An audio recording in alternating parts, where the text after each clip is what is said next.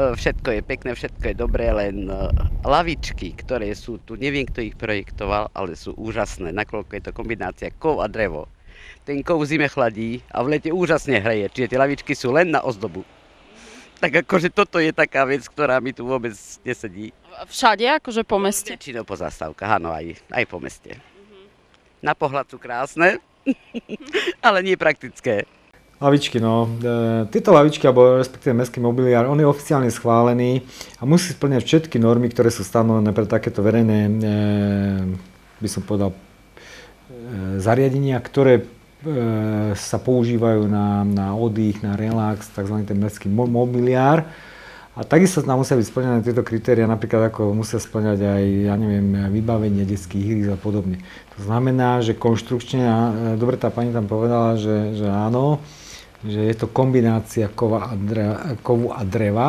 A, jasné, preto tam musí byť aj to drevo, skutočne, pretože drevo sa považuje ako za, za izolant a m, tá sedacia časť je vždy, vždy tam z dreva. Aspoň teda ja neviem o iných lavičkách tu v meste, ktoré by nemali tú plochu e, na sedenie, aby bola z dreva, pretože skutočne ten, to, to, to je materiál, ktorý je odporúčený pre takéto e, mestské mobiliáry, ako sú lavičky. Takže my všetky lavičky, pokiaľ mám informáciu, sú všetky s drevenými aj podsedákmi, teda to, kde sa má sedieť. Áno, že konštrukcia kvôli, kvôli stabilite, kvôli nosnosti a zase iným nejakým normám je aj z kovu, to je pravda teda prevažná väčšina tých lavičiek, ktoré sú nové osadené, tak sú takéto.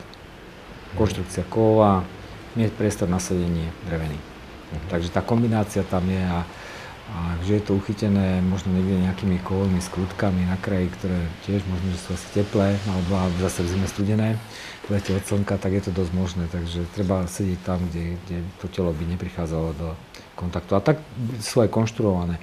Pretože, ja neviem, pokiaľ napríklad, keď len keď len eh, sme to možno priblížili divákom, eh, tie lavičky, ktoré boli posledné osádzané tu v eh, centrálnej zóne, tak pekne vidíte, že oni majú takýto tvar, dokonca aby sa telo ani dotýkalo tej teplej uh-huh. lete, časti kovovej, lebo tento profil v priereze je všetko z drevenej konštrukcie. Nosné časti sú krajové, kovové, tam sú vlastne uchytené. Takže takto to funguje. A ja neviem, treba tie, ktoré sú tu v centrálnej časti, zase sú na kolmo, aj kvôli nosnosti, tie výplne, ale sú tiež drevené, nie sú kovové. Kovové jednoducho nie je odporúčané a nesplňujú nejaké tie normy pre tento mobiliár. Takže Čiže ak sú nejaké, ak pani našla, tak ale nie sú meské, hej? E, buď, buď teda, alebo, alebo skutočne nemám o tom vedomosť, pokiaľ niekde boli takéto umiestnené a pokiaľ sú na vernom priestranstve, lebo skutočne my musíme e, typizované štandardné takéto lavičky osádzať na verejné priestranstvo. Nesmú byť e, ostré tvary a podobné veci. Jednoducho musí to splniť e, nejaké tie normy e, Úradu verejného zdravotníctva, aby, aby takýto výrobok vôbec bol ponúkaný na verejné priestranstva. Nesmú byť tam ostré hrany a podobné niečo tak aby mohlo dosť k ubliženiu na zdraví, alebo respektíve, aby sa to, aby sa to dalo užívať bez, bez újmy na zdraví. Tak. Uh-huh. Hej. Dobre, už keď sme pri tom mobiliári, asi tento rok už nie, ale čo chystáte ešte, poviem, najbližšie, hej, možno až teda budúci rok? E, e, čo najbližšie, tak to, čo hovorím, my máme väčšie problémy, väčšie problémy s obstarávaním nejakých vecí, potom, potom nám niečo do toho vstúpi, zruší sa súťaž, potom sa mení projekčne, dokonca príjme na niečo, čo, čo, čo, čo mm, jednoducho nie je tak jednoduché vyriešiť, takže pri, tom, pri tomto máme veľké problémy, aby sme aj tie nejaké priority v tom danom roku plnili. Skutočne, e, už na posledných fórach e, e, zaznelo dokonca, že, že, takýto, že takáto vec, alebo takáto legislatívna norma a, a aj teda s takými dozorujúcimi orgánmi, ktoré, ktoré sú kompetentné v rámci tohto zákona, výrazne vplývajú skutočne na, na, na to, že tu dochádza k spomalovaniu takýchto procesov v stavebníctve mm, a tak ďalej a tak ďalej. To sú známe tendre, ktoré sa opakujú na diálnicách, na cestách. Sú tam, sú tam eh, ohromné, ohromné páky eh, pre tých, ktorí sa zúčastňujú a dokonca z môjho pohľadu úplne nezmyselne. Ten úrad im dáva zapravdu e, voči tým, ktorí, alebo teda tým neúspešným a v mnohých prípadoch. Pritom e, zase, e, pokiaľ dojde takáto situácia až, až do súdnych sporov, tak, tak väčšinou obstarávateľia, to znamená my, dostávame zapravdu pri súdnych konaniach, pretože nemyslím si, že by si verejný obstarávateľ do, do, dovolil také veci, za ktoré nám koľkokrát býva dávaná vina. Ale bohužiaľ, ale vrátim sa k tomu, že už sme mohli byť oveľa ďalej aj s mestským mobiliárom. Je to stále otázka obstarávania, e, zabezpečovania týchto vecí, pretože e, na čo vám sú peniaze vyčlenené v rozpočte, keď e, robíte obstarávanie, poviem príklad na cesty, zostanú vám peniaze, keď robíte na cesty, zostanú peniaze, ušetríte, to je dobré, vysúťažíte, a potom ja už nestihnem ani s tými, s tými peniazmi, e, peniazmi ušetrenými, hej, nestihnem ani obstarávať, napríklad typické sú tie asfaltovania v normálnom klimatickom období, vhodným pre takéto práce. Pretože my keď sa dostaneme a, a všetkým podpisujeme úspešným, ktorí sa odvolajú, spripomienkujú, neviem čo, námietky majú, my, my, my sme vybavení v septembri. V septembri, v septembri zistíme, že ideme podpísať zmluvu, ideme to robiť, vieme, že máme tam nejaký balík peňazí, ktorý sme ušetrili, ale, ale jednoducho, my jednoducho už nestihneme celý tento, tento proces. Toto je vážny problém, ale skutočne veľmi vážny problém a nech sa na mňa nikto nehnevá, skutočne z toho úradu, ja to, kadeľ chodím, teda to kritizujem. Kadeľ chodím, teda to kritizujem, veď nik, nikto v tejto republike nemôže byť a priori podozrievaný, že chce nejaké verejné obstarávanie obchádzať. A pritom mnohokrát je človek toho svetkom, že, že médiá ako keby to ešte aj prikrmovali toto celé. Veď to už, je, to už je neskutočné monštrum, čo sa tu stalo. My sme už tak byrokratickí, že, že to vážne zasahuje do plynulosti chodu prác, to, čo máme zabezpečať do tých kompetencií, pretože tí ľudia právom povedia, čo ste doteraz robili, kde ste boli. A ja vám vysvetľovať, ja vám poviem e, kaštiel. Pozrite sa, znovu tam budeme musieť obstarávať, znovu budeme musieť prebiehať takýmito prácami. Medzi tým máte iný správny orgán, bez ktorého nemôžete ani klinec zakopnúť, ani, ani nič je zobrať, ani doložiť, to je zase pamiatkový úrad. A keď sa dostanete medzi takéto mlynské kamene, tak to sa môžete rovno obesiť. A medzi tým sa dívate na to, ako ten nešťastník potrebuje, ten, ten potrebuje ako veľmi rýchle, aby bol zachránený, sanovaný, ale tento úrad si myslí, že je ešte dôležitejší ako ten, ten kaštiel a tento úrad ešte dôležitejší nad obidvomi. A pritom, pritom dotedy budú blbnúť, pokiaľ fakt ten kaštiel nespadne. A normálny človek sa na to díva, možno aj tento obyvateľ, že prečo ste to nespravili, prečo to nerobíte, aj toto ste mohli, aj tamto ste mohli. Tak toto dneska vyzerá. Takže kto by chcel s týmto bojovať, tak by musel nabrať obrovskú odvahu, chuť, znášať všetky nezmysly, ktoré keď si prečítate, tak sa vám hlava točí z toho, že čo do, ak nejaký úrad môže vypotiť. Ja už som teraz videl podľa metodického usmerenia dokonca vyber, e, verejnú súťaž na, na, na kúpu nehnuteľnosti, čo je podľa zákona 138 úplne v rozpore. Toto, tieto, tam vás pošlu ešte úrady. Máte verejné obstarávanie na kúpu nehnuteľnosti. Ako môžete kúpiť dve rovnaké nehnuteľnosti? Po, po, povedzte mi, aké kritéria im tam zadáte v jednej lokalite. Počujete, to sú absurdnosti. Ja už som to videl. Ja som to videl po metodickom usmerení. Nemenované mesto spravilo verejné obstarávanie na kúpu nehnuteľnosti. Ako padnete na zadok. Fakt, padnete na zadok, čo tu dokážeme vymyslieť. To normálny človek, keby prišiel, ja neviem, niekde, niekde by som povedal z Rakúska, alebo tam, kde sú také jednoduchšie normy, tak ako ten by nevychádzal z údivu. Ten by nevychádzal z údivu. Ale dobre, vráťme sa k tomu obstarávaniu. Eh, vrátim sa k tomu, toto, čo sme vysúťažili, kde nemáme nejaké problémy, kde nám do toho nevstupuje niečo iné, nejaká kanalizácia, ten projekt, ktorý je eh, stavebné povolenia, ktoré sú vydané niektorým eh, firmám, ktoré tu majú zámer a zatiaľ ešte nerobia, tak, tak nám to posúvajú. Viete, tie, tie priestory na ten mestský mobiliár je niekoľko už som v minulosti spomínal, miest, kde ideme s doplnkami, ja neviem, statickej dopravy, dynamickej dopravy, ale pokiaľ je tam vydané stavebné polenie, tak nejdeme, nejdeme do toho, tak jednoducho musíme tie priority prekopať. Teraz momentálne už sme sa e, dostali, pretože boli v minulosti zazmluvení nájomcovia priestoru medzi Partizánskou Bystrickou, Takže tam ideme do toho, ideme to nejako skrášiť, máme tam taký projektík, takisto ako, ako e, keď sme sa vyblbili so všetkými úradmi Slovenskej republike, tak konečne robíme zástavku na, e, tak ako som si ja predstavil, pretože mne osobne to, toto vadilo strašne dávno, že, že tam pomaly nevedel, kto má kadiaľ ísť kto má kde prednosť a kto nemá prednosť. A medzi tým ešte tie deti tam chodili do škôlky, vysadali do školy, zo školy, takže konečne sme sa tam vyblbli medzi úradmi. E, je to, je to na, na, našťastie po úspešnom verejnom obstarávaní to bude aj zrealizované. Takže to, takýto priestor máme vytipovaný ešte, ešte aj Bystrická partizánska, tam boli nejaké zmluvné vzťahy, takže z toho sme museli ešte vykorčovať, takže, takže budeme pokračovať už podľa toho harmonogramu.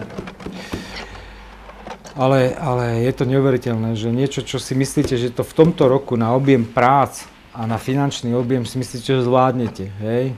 Nezvládnete. Pokiaľ nesplníte všetky tieto byrokratické veci, tak zistíte, že to, čo ste chceli robiť minulý rok na jar, tak, tak budete rád, že to spravíte tento, tento rok. Ale ako budeme, budeme sa pasovať s tým, koľko to pôjde, ale skutočne E, tento rok by sme ešte chceli toto zrealizovať, potom máme tam, máme tam zase ten priestor e, pod, pod kultúrnym domom, tam ten parčik, to, to sa skultúrnuje, proste, aby tieto, tieto miesta, teraz sa mordujeme s tým, že, že ktorú etapu, aspoň čas chodník, aby sme najskôr pustili pod, pod kultúrny dom smerom k ulici Dolnej, pokračovanie až k Tesku, tak aby, sme, aby túto časť sme mali už nejako vyriešenú, lebo tam sú vydané nejaké stavebné povolenia zase firme Horná Nová Baňa, tam ten polifunkčný objekt oproti, oproti e, tej stav, alebo hneď tej stavkovej e, kancelárie, tam čo je, ja neviem, Nike, alebo aká to je, hej? Za Teskom. Za Teskom, za Teskom, áno, tam ten voľný plac, ktorý je, tak konečne tam vydané už teda dávnejšie právoplatné stavebné povolenie, takže aby sme niečo nešli stávať alebo robiť chodník a mm, ťažké mechanizmy potom to poličku zničia. Takže aspoň polovicu by sme chceli z toho spraviť. Takže ako skutočne čím ďalej sa už, už horšie robí a, a ale toto sú praktické veci. Ako viem pochopiť, dobre, niekto ide spraviť polifunkčný objekt, dohodneme sa, my spravíme tu chodník, vy si spravíte tu, aby ten objekt do toho zapadol, aby, aby sme uh, nerobili nejaké blbé rozhodnutia v nejakom, aby, aby, aby to nadvezovalo a aby to malo aj zmysel. Takže toto viem pochopiť, ale, ale tá ostatná administratíva, to je, to je ako des. To, to je... ale ale e, pokiaľ budeme zdraví, tak to zvládneme, budeme sa pasovať s tým. E, lebo ja si myslím, že títo ľudia si to mm, zaslúžia, aby sme postupne všetko dávali do poriadku a, a, a aj prekonali to, čo nám takto zbytočne stopčuje, stopčuje život. Takže máme tie priestory ešte vytipované, o ktorých som hovoril, ktoré by sme tento rok chceli spraviť. Takže celkovo aj tie také tie kľúčové miesta, neviem, uh, pri tej sadke, pri tej drevine, je tam tá, je tam tá e, križovatka, proste aby ten priestor bol, bol príjemný, aby bolo úplne jasné, že, že to není len nejaká bezpečnostná časť nejakého pozemku, ktorý, ktorý treba nejakým spôsobom skultúrniť, aby, aby niekto, keď príde zlezie z diálnice, aby vedel, že sa dostal medzi kultúrnych ľudí a do kultúrneho mestečka. To myslím ako Žarnovicu. a potom sa vám to podarí, takže tá zastávka už bude normálna tam, naľavo, napravo, ešte teraz tam porobíme nejaké vodovodné značenia, e, teraz sa tam ešte robí nejaká sonda, medzi tým viete aj, aj, aj obstarať a potom ešte, hovorím, dosť je tých úplne takých tých normálnych vecí, keď niečo vykopete, odkopete, zistíte, že to není tak, ako to tam bolo, lebo obvykle nemáme od ničoho projektovú dokumentáciu e, z minulosti. Takže, takže tam napríklad teraz zase firma, ktorá to vysúťažila, tak sa tam objavili, že tam je nejaký stok pod tým, že tam niečo tečie, tak tam robia na to nejakú drenáž a, a vyberajú to, pretože sa tam prehýba asfalt roky, rokúce, ale nikto nevie, kde sú niektoré tie zariadenia tam odkanalizované, zvedené žleby, takže tu v Žarnovici nemôže byť nikto prekvapený, keď niekde niečo vykopete a že eha, čo sme to tu našli, ha, piatého suseda v poradí nejaká rúra stratí vodu. ale, ale tak ako, toto prekonáme, všetko, všetko je v poriadku. E, dúfam, že, že tento rok e, to bude hotové. Robíme ešte nejaký mestský mobil aj v mestských častiach na Vejskom pozámči, e, sa tam riešili nejaké veci, e, autobusová zastávka, dorobili sa nejaké svetelné body, e, značenia, e, obytnej časti, aby teda tí, ktorí tí, ktorí, e, keď sa tam spraví cesta, aby si to nezmýlili s nejakou um, závodnou dráhou, lebo pokiaľ tam nebola cesta upravená na pozámči, na dolnom, na hornom, tak, tak ako kľúčkovali pomedzi tie jamy a išli 20-30, no tak spravila sa asfaltka, tak to zase lietalo. Tak sme sa museli dať cedule, že, že reviské pozámče, aby im bolo jasné, že tady platí 50 pretože to je, to je dez, ale, ale dobre, budeme ďalej robiť, lebo už je to frekventované miesto, skultúrne sa tam horná časť Revijského pozamčia. Už tento priestor skutočne v súlade s územným plánom naberá taký, taký ráz toho, toho, tej meskej časti, ktorá je pre typ vidíckého bývania a tzv. relaxu. Hej? A už to naberá trošku ten ráz, ale nedá sa všetko a naraz. Hlavne keď, keď viete, musíte niečo stále dobiehať, niečo vás, nie, niečo vás dobieha. Poviem posledný príklad, teraz sme sa pustili konečne do rekonštrukcie aj kolkárne, no tak vzhľadom na to, že nemáme žiadnu projektovú dokumentáciu, tak naraz sme zistili, že keď, keď podľa projektanta sa tam niečo vykopalo a firma teda, ktorá je vysúťažená, zazmluvnená, tak sme zistili, že tam sú e, o, e, obrovské e, petky pod nosnými piliermi, a takže ten projekt sa nebude vlastne ani dať zrealizovať. A, ale tak zase. To sa nadýchol zhlboka, keď mi to doniesli, že a čo teraz s tým? Hej, lebo oproti pôvodným, eh, pôvodnému rozpočtu pána projektanta 40 tisíc eur, eh, pri vernom obstarávaní najlasnejšia ponuka, keď to nacenili firmy, tak najlasnejšia ponuka, víťazná ponuka bola, bola o 24 tisíc, no, aby som bol presný, presný, presný, hneď si pomôžem. Hlava mapa, ale keď si niečo nenapíšem, tak je to haj. Áno, 64 tisíc bola najnižšia ponuka a najvyššia ponuka bola až 80 tisíc. Tak potom neviem, či ten pán projektant je z minulého storočia alebo predminulého podľa tabuliek, lebo takto to vychádzalo a súťažilo tam 5 firiem, takže asi, asi vedeli, o čom hovoria, pretože tie cifry tam lietali, najnižšia teda, ktorá vyhrala, bola 64 tisíc, potom bola ďalšia firma 72 tisíc, 82 tisíc a 87 tisíc. Ale chcem dopovedať to, že keď nemáme projektovú, to sa vykope, na, takže na, namiesto pôvodných 40 tisíc, tam ide 64 a neviem, či, či vôbec čo s tým budeme ďalej robiť, lebo musíme počkať na statika, lebo toto, čo tam vykopali, tak to je slovenský povedaný taký prúser stavebne, že uvidíme, čo na to povie statik, že či to naspäť nezahrabeme, tie peniaze neplatíme firme a budeme rozmýšľať, že čo s tým ďalej. Takže, ale nadýchnuť zhlboka, rozdýchať. A od znova. Tak a na druhý deň ideme rozmýšľať, čo s tým, čo s tým ďalej. Takže takto sme aj na kaštieli momentálne, ale tak už sme tam e, niečo, niečo, sme, niečo sme spravili na kaštieli. Poďme ďalej. Poďme ďalej. Budeme sa, e, budeme sa tak trošku, trošku viacej trápiť. E, a ten mobiliár, e, tento a čo ešte e, bude viac menej slúžiť verejnosti, tak, tak e, tento rok by sme ešte veľmi, veľmi radi stihli e, parkovisko pri jednote, pretože ten priestor tam, tam eh, je dosť obmedzujúci, pretože na budúci rok eh, plánujeme rozšíriť tú miestnu komunikáciu, ktorá tam nesplňa tie štandardy dvoch aut. Na sídlisku. Na sídlisku, presne. Pri jednote, eh, ako viete, tam, kde sa stretávajú pod, nad reštauráciami, tá cesta, je to nejaký úsek 80-70 metrov, nesplňa žiadne štandardy, pretože tam tie auta si musia dávať prednosť, lebo sa nezmestia na vozovku, alebo teda vylezie na chodník, ale tým pádom zase porušuje vyhlášku u premávke. Takže, takže ideme najprv spraviť parkovisko, tí, ktorí tam stávajú teraz popri tej ceste a rôzne tak všelijako krajom, tak aby mohli normálne parkovať a my aby sme mohli normálne cestu spraviť. Takže aby aj v tejto časti sa normálne jazdilo, aj normálne parkovalo a normálne žilo. Takže toto ešte tento rok z týchto verejných priestranstiev by sme chceli mať za sebou.